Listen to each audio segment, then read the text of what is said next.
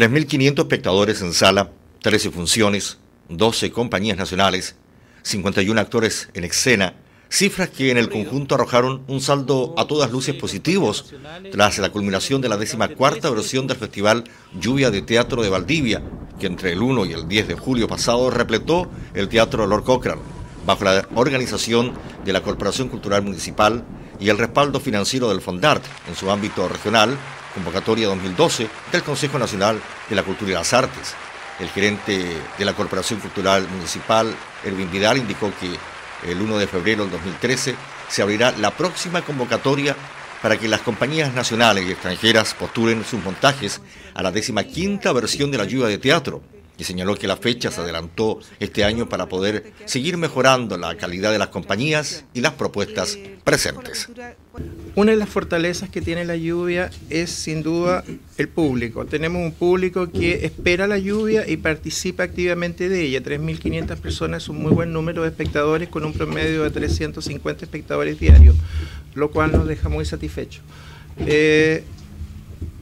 y lo otro importante es la diversidad de la selección, que también creemos que es, es una forma de ir potenciando el evento que sea no en una línea, sino que haya obras para todos los gustos y en todas las opciones, teatro experimental, teatro joven, pero de calidad, con premios, con reconocimientos, con crítica, y también teatro de compañías consolidadas, eh, etcétera. O sea, eh, que este evento o este festival sea atractivo porque el objetivo fundamental que perseguimos es formar audiencia. Y por eso nuestro énfasis tan grande está en los niños y vamos a seguir profundizando y mejorando la llegada a los niños a través de... Ya, estamos trabajando en la decimoquinta lluvia